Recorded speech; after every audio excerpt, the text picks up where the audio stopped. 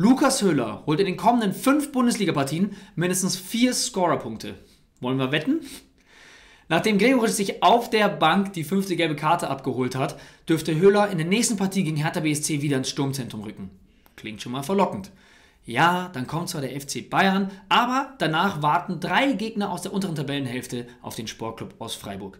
Gegen Bremen, Schalke und auch Köln kann man Höhler ruhig mal aufstellen. Daher schmeißen wir folgenden Hottake in den Raum.